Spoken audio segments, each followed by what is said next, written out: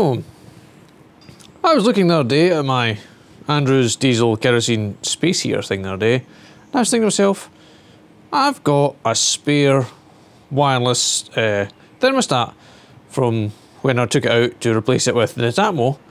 Could I build it onto here and turn it into an actual clever unit instead of just being the on-off switch and it runs all the time? Could I could I wire it up and actually have the thermostat control it on and off? I think I can. This is the wireless thermostat I had left over. It is a Computher Computherm Q3 RF. That's the bit that you attach to your boiler. That's this backing plate that you wire the wires on and attach that on the back of that. That gets attached to the wall or whatever, and that's your room thermostat, which needs new batteries by the looks of it. So my thought is to have this room thermostat over where I'm working, mount this on the diesel burner, and then it can be at the other end of the workshop, turning on and off far away, well, fairly far away, and up here actually stays at a reasonable temperature, instead of the workshop getting up to 30 degrees and me going, oh my god, it's so hot in here, and then turning it off. And then give it 10 minutes and you go, Jesus wept, it's cold in here, and I haven't turned back on again. So we'll let it do the do the thinking, controlling. And with all of these nice um, thermometer type things, it's four wires. Uh, can you can you zoom in there? Neutral, live, and then the two switch wires for the therm thermostat, or for your boiler, sorry, because it's just a switch, you know, input and then output, and that's it. It's easy peasy. Just turns it on and off. Right, let's wire it in. Okay, so as I was saying, this is just a dumb unit. It's just got one single on-off switch. It just turns on off. In here is where the electronics live. It does actually have electronics. Goodbye paint. Yeah, this could really do with a, a paint or some variety. Need a magnetize there? Yes, good for that. Give us some slack. It's also not plugged in, I should point out, it's absolutely not plugged in. Ah, and someone's stolen the screws for these bo this box. Oh, that's not so bad.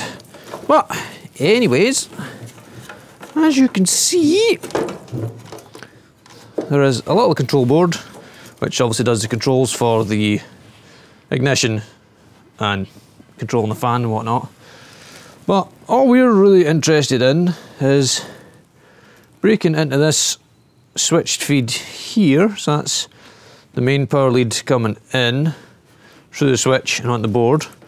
So we'll be taking that one and breaking it, and that'll be our switched, the switch feed, not switch feed, the switch we'll be putting on the board for the thermostat controller. And it can just switch it on and off. Once we've switched it on, then it'll need to go through the controller, which can switch it on and off.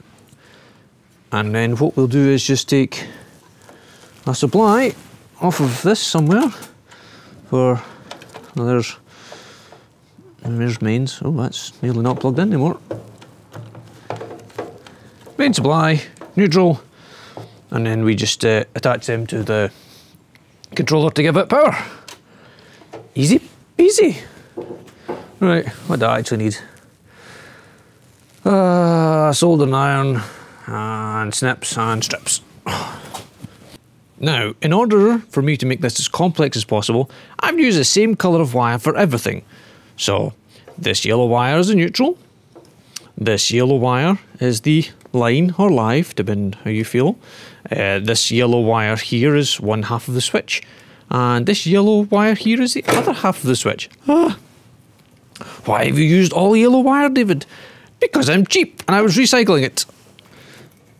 So, all those yellow wires come through the hole and come onto this plate. As you can see, we've got yellow neutral, yellow live, one part of the yellow switch, the other part of the yellow switch. And that's it all just about ready to go. Put the controller on, give it power, uh, turn it on, and then see if it fires up and turns on and off with the thermostat. I apologise, I did not film the soldering as it is cold in here, my hands are shaking, it wasn't pretty. But it's soldering, and there's no real point in me showing you which wires were which because you might not have the same heater as this, it might not have the same things, it might not be the same controller at all, so it'd be fairly pointless. But the concept should be the same no matter what heater you're putting on. Right, let's put the bits on and give it power. So this is the actual controller head, the actual electronics. I'm just trying to make sure I don't sit in a hot stove now. One-handed unplugs don't work. Right. Peace off over there. Go and cool down. Don't burn anybody. Oh, screwdriver. Right. All of that can get poked back inside there. Mostly. You all poked out of there, so. Really? Sure. Okay. Oh, I've made a rookie error. Oh, I don't think there's good enough space. Oh, maybe there will be. Oh. Piss off. That clips over there like that. Clacks into place. Can you still get to the screws in the bottom? Yes. Let's do this one first. I don't really want to get electrocuted off the main supply, so if it's actually fairly well tucked away, that'll do. Right, there's enough space to put this back in its hole. There will be if you get the, the mains wire tucked under it. Get down there. Go on. Why is this control box not? Is because there's a great big honking screw in the way? No, it's not. There's no problem. It is just operator error. Two screws. One here.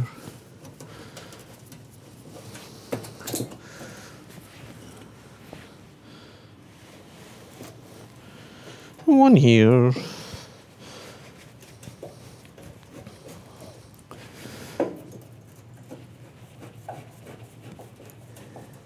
Okay, screwed in. That's it, that's ready to go. As much as I want to turn it on here, it's going to fire heat and melt everything over there, so we're going to have to move it.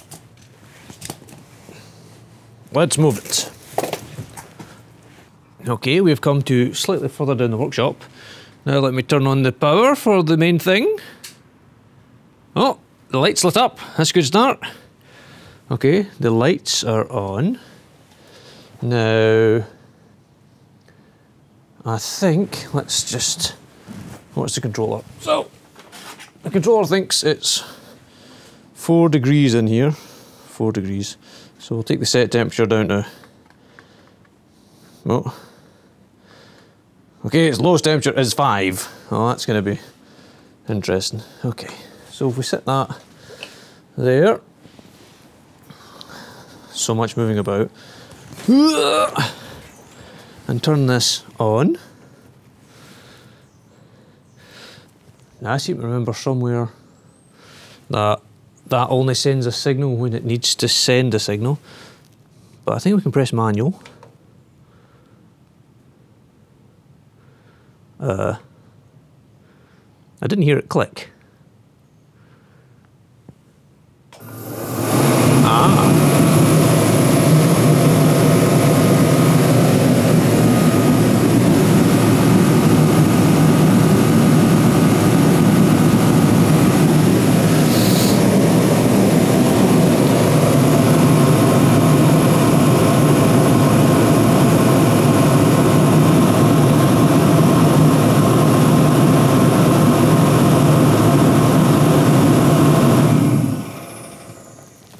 Does it does say manual? Right. Okay. Let's set the temperature to eight degrees.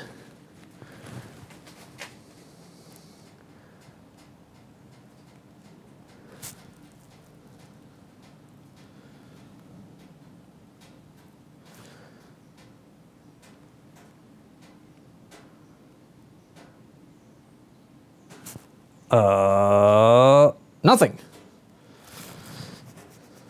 Okay. In my impatience, I turned the camera off as I thought there was a fault. As I put the camera down, it absolutely kicked into life. Ah. okay, so what I did was step away for a few seconds and it fired right up by its little self.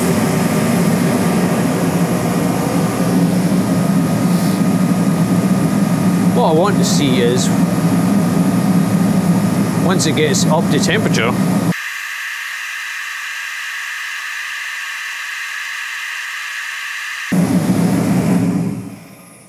Hey, it got to 8.3 degrees and turned off. Ha ha! It works. We got up to 8.3 and it turned itself off. That's fantastic, that's what I wanted.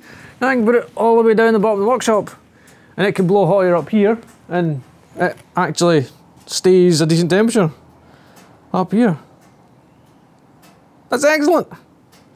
I can't, well, actually, I can't believe it worked because it's a fairly simple system.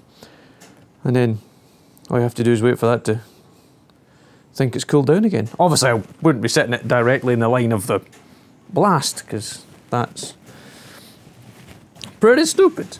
But I could sit it over here on the workbench where I'm actually working. Yeah, that's a good thing. And it'll just turn on and off as it goes. As it heats up and heats cools down. Or you could even I could even set it to like five degrees and have it make sure the workshop doesn't freeze at night. That's a possibility. Anyway, thanks for watching, and maybe now I should tidy up some of this stuff. Thank you.